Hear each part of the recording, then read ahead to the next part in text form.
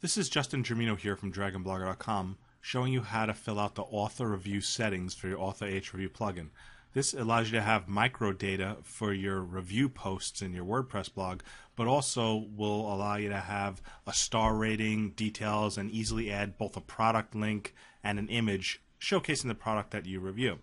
To fill this out, you'll see a new editing feature on your WordPress editor tab called Author H Review Settings or Author Review Settings. What you want to do is fill out each of the tabs completely to make sure you get a, a comprehensive appearing uh, review portion for your article.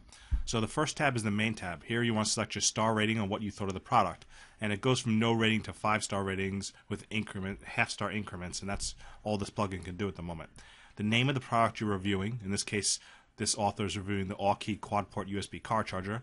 Next, you'll do a review summary. This is just kind of like a recap of your review. Try to keep it to one paragraph or so because it shows at the top of your article, so you don't want to reveal too much and have them not read the whole article. So you want to do the review summary that kind of summarizes it but doesn't give too much information away.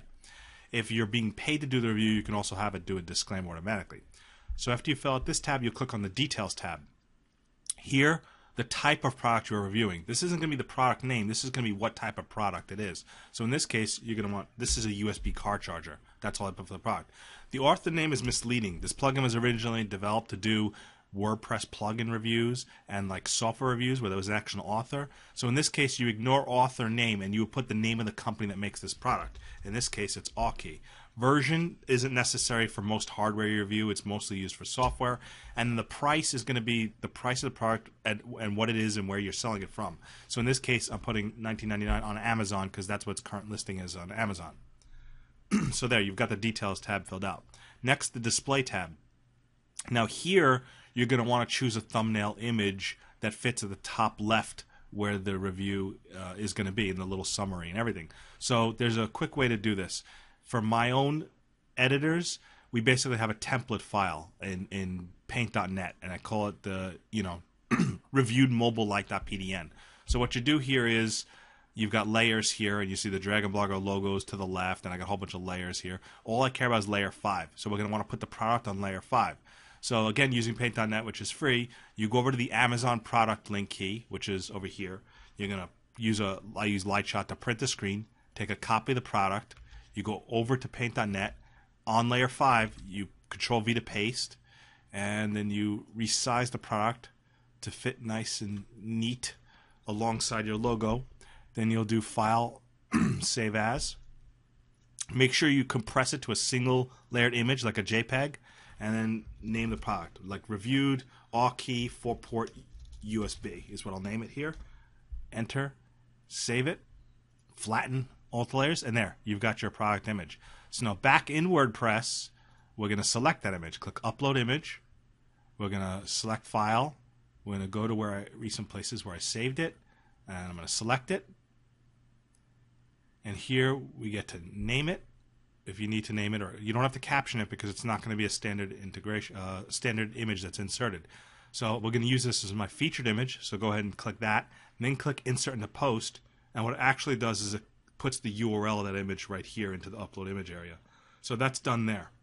Next, we'll do the link because you want to sell the product. You want to typically use your affiliate sale uh, so you can make some commissions if anybody buys it.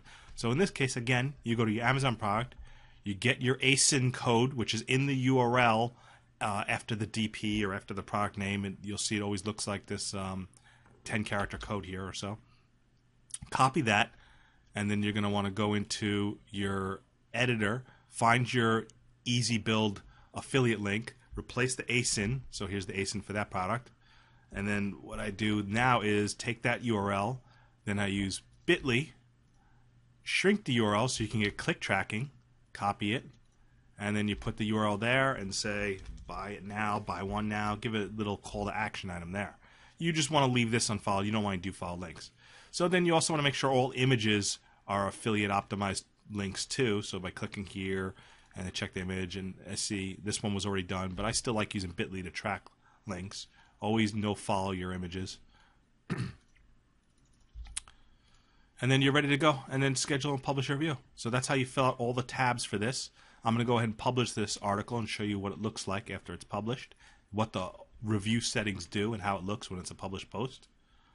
So I'm going to publish this article. I'm going to view post, and I'll show you what parts that H review settings fill out. So now you'll see the H review is what fills out this top part here. You can see there's our nice little featured image. You know, the link which goes to the Amazon link we created, also the buy it now, the star rating, the type of product, the company, price on Amazon, and the reviewed by is automatically filled out as to who the reviewer was, the uh, the WordPress author. You know, the profile of the WordPress author. So you don't really, you know, need to worry about that. That does it automatically. And then here's that little review summary that caps at the top here. So then you get your whole article, and then at the very bottom it shows you a little bit more in the plugin, another summary right here, and then again sales price, rating, and then go click to buy it now. So that's how you fill out the Author H review settings in the WordPress post editor. Thank you for watching.